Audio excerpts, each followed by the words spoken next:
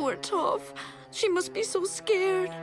You think you're so tough? Why don't you come up here so I can smack that grin off your face?